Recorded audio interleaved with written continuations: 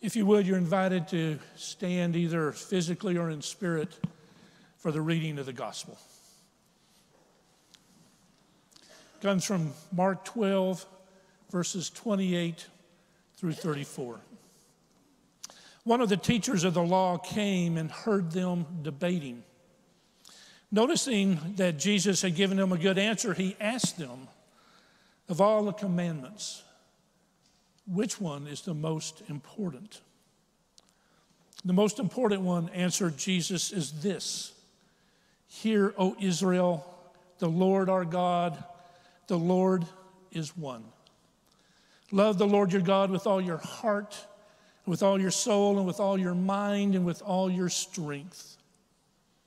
The second is this love your neighbor as yourself. There is no commandment greater than these. Well said, teacher, the man replied. You are right in saying that God is one and that there's no other but Him. To love Him with all your heart and with all your understanding and with all your strength, and to love your neighbor as yourself is more important than all the burnt offerings and sacrifices. When Jesus saw that he had answered wisely, he said to him, You are not far from the kingdom of God. And from then on, no one dared ask him any more questions. The Word of God for all people. Thanks be to God. Please be seated. If you would, please pray with me. Oh, Heavenly Father, Protect me from me and hide me behind the cross. May the words that I speak this morning and the thoughts that we together share be acceptable in your sight. Oh Lord, my strength, and my Redeemer. Amen.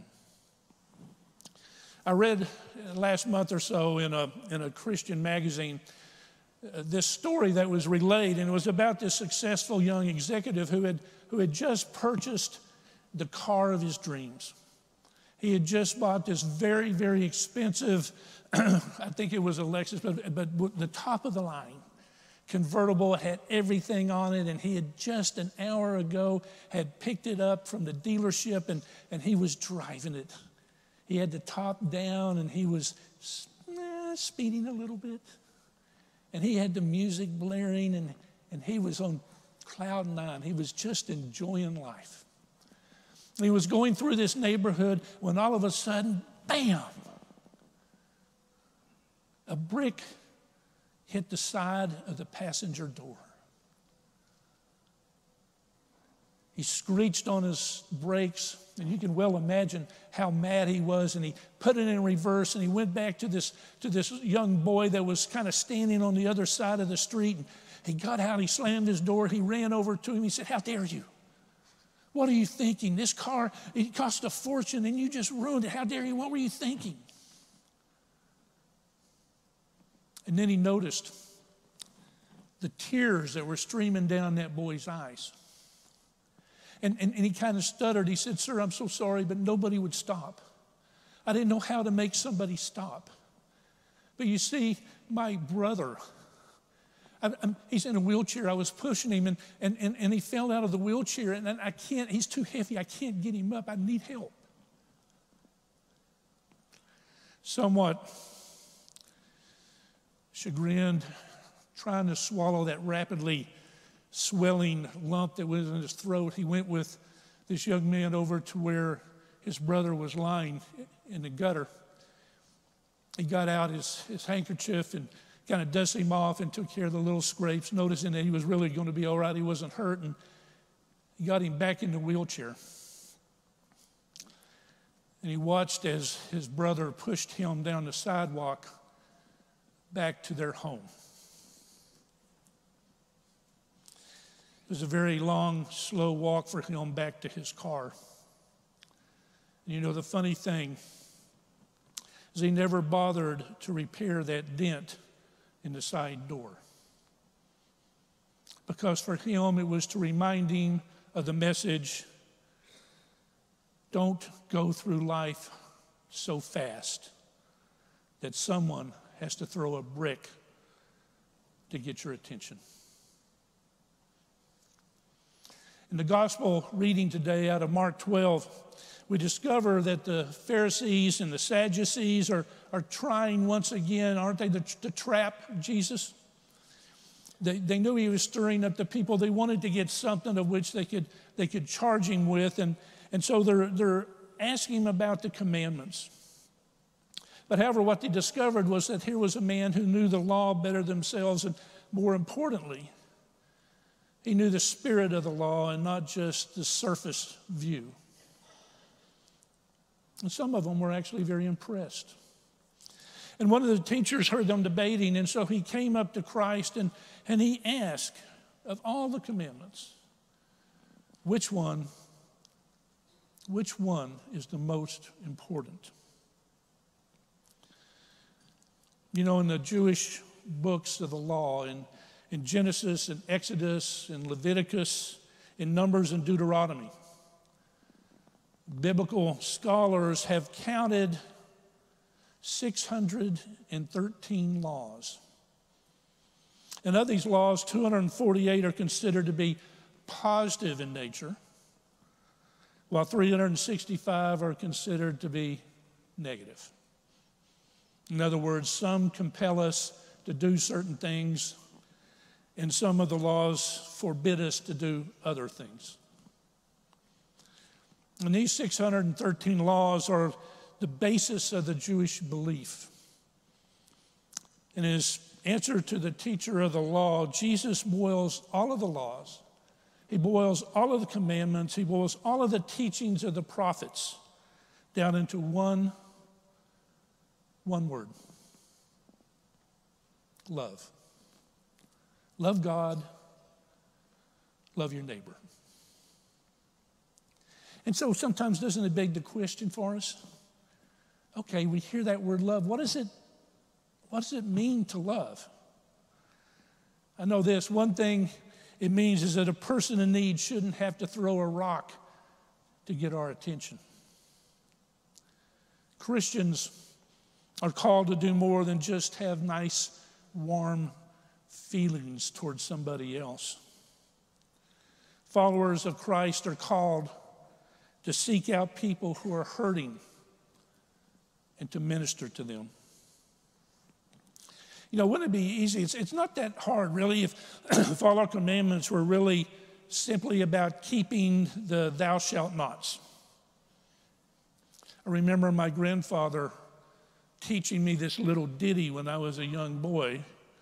We don't smoke and we don't chew, and we don't go out with the girls that do.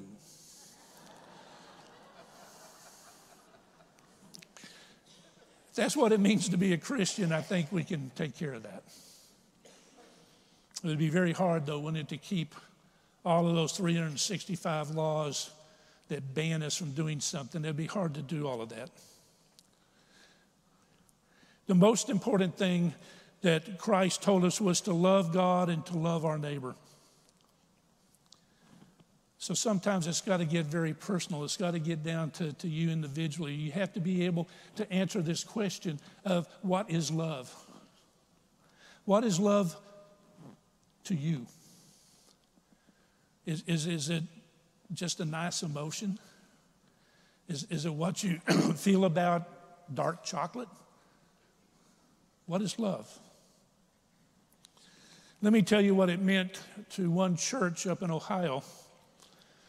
And it's a story of a friend of mine who was a pastor, and they were they had just had this great building project, and they were redoing their worship space, and they had a basement there that they they used um, as as a homeless shelter for some men in the community at times, and and and that basement was pretty dreadful. But they really wanted to upgrade their worship service, and came over there one day and I asked them, I asked, how's, how's it all going? He said, well, we've, we kind of ran out of money for our worship service. And I kind of thought, how do you do that? How do you do that? And he said, uh, he said, I know what you're thinking. They said, Let me tell you the story about it. He said, You know, that basement was horrible. It had one really ratty little shower that none of us would ever go into. The, the, the walls, there, there, was mold, there was, there was, it was just horrible. And, and, and we just kept kind of renovating and we just kind of kind of making it better and, and, and, and it was just lousy. And he said on the Sunday before we reopened this shelter, this, this, this basement mission that the church did on the Sunday before we reopened it. It was a communion Sunday. And we had our worship service in the sanctuary. And, and when it came time for communion, we, we took the elements, we took the bread and we took the cup, and, and all, of the, all of the congregation went downstairs into that basement. And we surrounded the empty beds there. And we passed around the bread and, and, and the cup. And we said, The body of Christ that's given for you. He said the next day the, the beds were full and the worship service still needs a lot of work. What does that story say to you about love? It tells me that here's a congregation, it tells me that here's a church that doesn't need a rock thrown at them to get their attention. Saying that there are hurting people right now in our community across the street, nearby in our communities, nearby in, in, in, in HEB, in, in, in the pews with us today. Many are lonely. Some have emotional problems. Some, some are single parents that are overwhelmed by all the pressures and the to dos that are in their life. Some of them are crushed by some form of addiction. And, and, and we can be nice people and wait for them to come in our doors. And when they come in, we can love on them and give them some band aids. But I'm not sure that's the love that Christ is talking about. Love requires that somehow we find out who the hurting are and that we go to them. And that's kind of hard at times to find out really who are the hurting ones, isn't it? When I was a sophomore at A&M, and my major was electrical. It was. My major was electrical engineering. My roommate that year was also in electrical engineering. And we had some classes together, and he was really smart. I mean, I kind of liked him being my roommate. And we had this lab, and we had to build, in this lab, we had to build a transmitter. And, and, and we were paired up. And and we were working it one afternoon in our dorm room. And well, we were working it. That's kind of like we shot a bear and Papa pulled a trigger. But we, we, were, we were working on this transmitter. And all of a sudden, through the door comes the College Station police and, and, and, and the federal rescue team. We were scared to death. But it turned out that something in our transmitter was emitting a strong signal that a satellite had picked up that they had relayed that said there was someone in deep distress. Well, it was true when they came through the door. Wouldn't it be nice? Wouldn't it be nice if everyone who needed help sent out this distress signal? So that we could identify who they are and we wouldn't know where to go?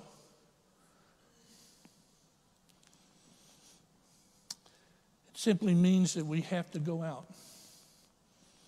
And we have to go out and we have to go to the places in our community to find them. And there's so many different ways to do that.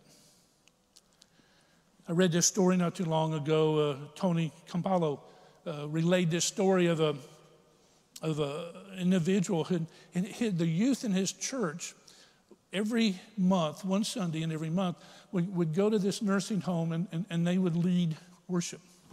And, and he decided he wanted to go with them just to be there.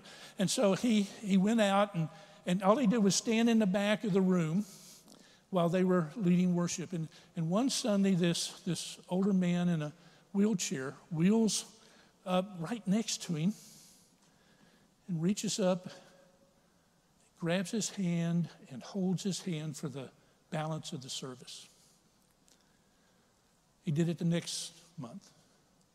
The same thing the next month, and the next month, and the next month. And then there came that one Sunday when he went there and, and the man didn't show. So he went out of the room, he asked the, the nurse that was in charge, and she said, Well, he's near death. He's actually down in room three and he's unconscious, but if, if you wish, you may go and, and, and visit him. So he walks down and he goes into the room, and there's a chair, a bed, a man was lying in it, there were some IVs and on a stand. He could tell that he was he was near death. And so on an impulse, he went over and he just took the old man's hand and he felt compelled to, to say a prayer. And at the end, he, he said, Amen. And that old man squeezed his hand. And it kind of shook him up. And as he was leaving the room, he ran into the woman who was coming into the room. And she said, He's been waiting for you. He said he did not want to die until Jesus came again and held his hand. I told him that when you die that you're going to get to meet Jesus and you're going to get to be him and you'll get to hold his hand. But he kept saying, he's saying no. Once a month, Jesus comes and holds my hand, and I don't want to leave until I have a chance to hold the hand of Jesus once more. So, my friends, where can you go to show the love of Christ to somebody? Where can you go to be the hands of Jesus for someone to hold? Wouldn't you agree with me that there's a lot of of, of cynicism in our society toward organized religion that would disappear overnight if we just carried the love of Christ out these doors. What we need to see is every time we perform an act of love, we glorify Christ. The first commandment, of course, is to love God, but when we love somebody in Jesus' name, we are loving God. And when we love, it's not us doing the loving, we are simply the vehicles through which God loves. That Herod young woman in the doctor's waiting room, maybe in the next pew, perhaps loving her means kind of looking after the toddler while she handles the baby. That person in the line at bank who doesn't understand English and is having trouble with, with deposits and withdrawals, maybe loving him means getting out of line and, and, and helping him. Maybe the next door neighbor who is struggling to keep the marriage together, the daughter who pushes our buttons, the, the husband who's scared of being laid off. These are the ones who so desperately need a strong saving love. They need to once again know that and feel that. They need to know the compassion, they need to know the mercy, they need to know the holiness and presence of Christ that is there with them. It is in these moments that we are called to dare to risk being rebuffed, being inconvenienced even if it wrings our heart in some pain. It's what we were created, it's what we were redeemed, it's what we were commanded to do. Hang your whole life on love. For the truth is, it's God's love that's active in you. And my great, great friends, I promise you, God's love never fails. There's a song by Martina McBride. I suspect many of you are very familiar with it. If you're not, I would urge you to Google it and read the lyrics. It's about a wife who is facing disease, and her husband tells her that he will be there for her. It's called, I'm going to love you through it. The refrain is powerful and it's really about uh, as, us as Christians and what we are to do for those in and outside this building. The last refrain goes like this it says, And when the road gets too long, I'll be the rock that you lean on. Just take my hand. Together we can do it. I'm going to love you through it. We're called to be the rock that others lean on and not to have a rock thrown at us to get our attention. A teacher of the law did ask Christ of all the commandments, which is the greatest. And Christ told him to love your God and to love your neighbor as yourself. And the man replied, You're right. Those commandments are much better than all of the burnt offerings and all of the sacrifices that we can make. And when Jesus saw that he had answered wisely, he said to him, You're not far. You're not far from the kingdom of God. That's where I want to live.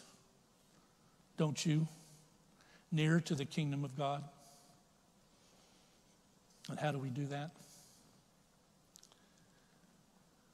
We just love. Amen. Amen. Let's pray. Father, help us to be aware of those around us. Enable us to slow down. Keep us from going so fast that someone needs to throw a brick.